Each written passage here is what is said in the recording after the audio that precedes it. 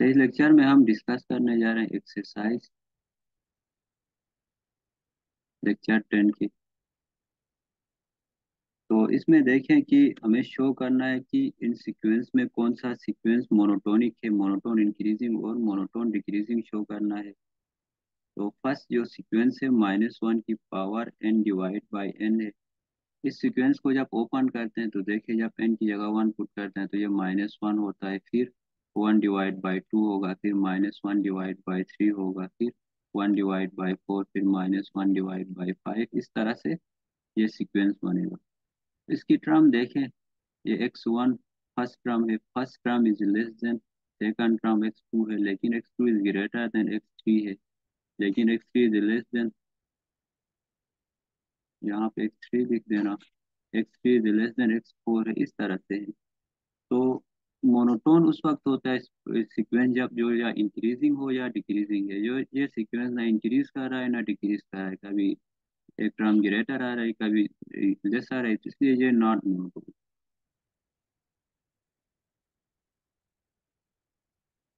ये sequence monotone नहीं होगा। उसके बाद दूसरा जो एग्जांपल है, दूसरी उसमें है कि N minus one divide by N है। तो N minus one divide by at N में वैल्यूज़ पुट करते जाए एन की जगह वन पुट किया तो ये ज़ीरो आएगा, फिर थ्री बाई टू आएगा, उसके बाद एट बाई थ्री आएगा, उसके बाद फिफ्टीन बाई फोर आएगा। इस तरह से वैल्यूज़ आएँगे।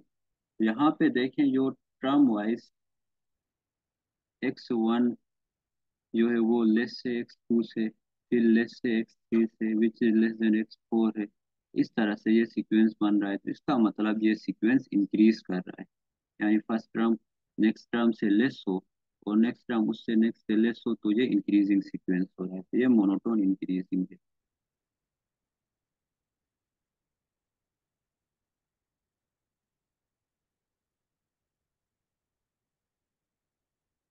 के बाद हर एग्जांपल देखें। हर में है कि साइन ऑफ़ एन पाई है। साइन ऑफ़ एन पाई का जब हम सीक्वेंस बनाते हैं, जब एन की जगह वन पुट करते हैं तो ज़ीरो आता है, फिर टू पुट करते हैं, फिर ज़ीरो आता है थ्री पुट करते हैं, फिर ज़ीरो ज़ीरो ये पूरा कांस्टेंट सीक्वेंस बना रहे कांस्टेंट सीक्वेंस देखो, वो मोनोटोन होता है हमेशा तो ये सीक्वेंस मोनोटोन होगा। इसमें देखिए, जो फ़र्स्ट टर्म है वो सेकंड के इक्वल है या लेस से मोनोटोन में इक्वल इक्वलिटी का भी चांस और सेकंड टर्म थर्ड से इक्वल और लेस से थर्ड टर्म जो है वो फोर से इक्वल और लेस होगी। तो ये मोनोटोन इंक्रीजिंग होगा। और सिमिलरली देखें, जो फ़र्स्ट टर्म है वो सेकंड टर्म से इक्वल और ग्रेटर भी हो सकता है। इक्वलिटी का भी चांस है ना। और सेकंड थर्ड से इक्वल और ग्रेटर भी है। इक्वल तो है। तो ये मोनोटोन डिक्रीजिंग भी है। तो ये डिक्रीजिंग भी होगा। यानी हम सिंपल में कह सकते हैं कि जितने भी कांस्टेंट सीक्वेंस है, वो मोनोटोन इंक्रीजिंग भी होते हैं और मोनोटोन डिक्रीजिंग भी होते हैं। के बाद फोर्थ है।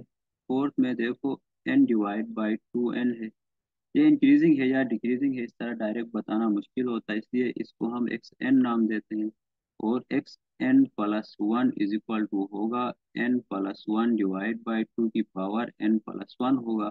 इसको डिवाइड करते हैं X N plus one divide by X N करते हैं, जब इसको डिवाइड करते हैं N plus one divide by two N dot two होगा और multiply by two N divide by N होगा। Two N two N cancel हो जाएगा। कैंसल होगा तो ये होगा N plus one divide by two N के इक्वल होगा।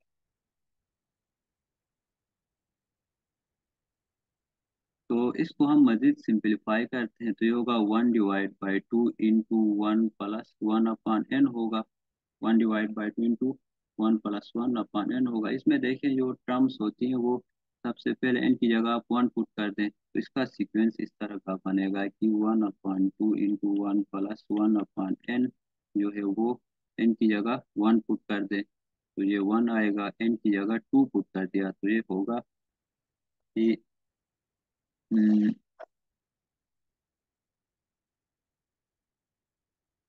थ्री बाई फोर आएगा। जब एन की जगह हम थ्री पुट करते हैं तो फोर बाई सिक्स आएगा, इस तरह से आएगा। तो इसमें देखें X one is less than X two होगा which is less than X three हो रहा है। और ये सिक्वेंस जो है वो मोनोटोन डिक्रीजिंग होगा।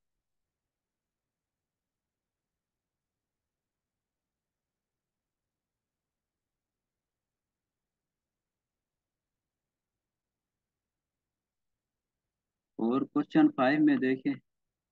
जो सीक्वेंस एक्स एन है, वो है one divide by under root N minus one divide by under root N plus one है।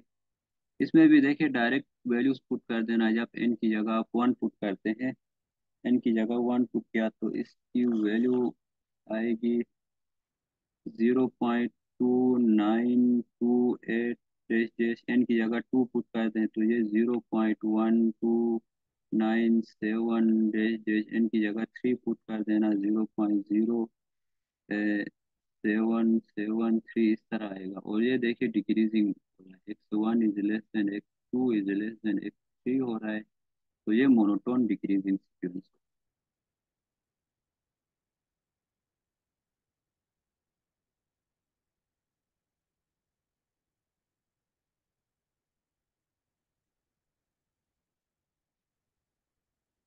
इसके बाद जो नेक्स्ट पार्ट है, वो है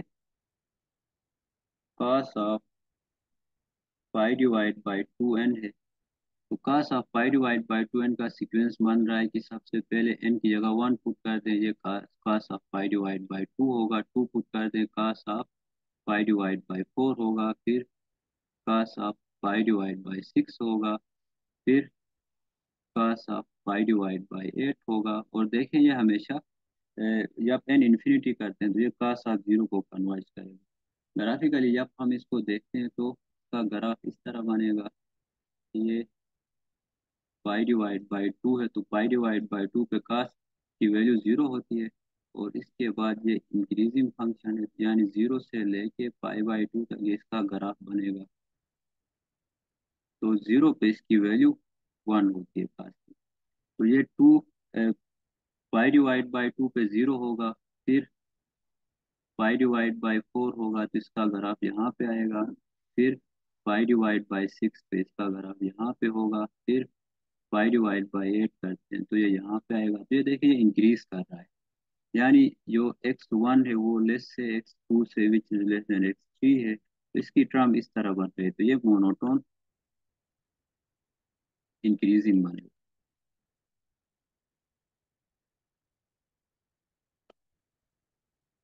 अच्छा बाकी लेक्चर नेक्स्ट में डिस्कस करें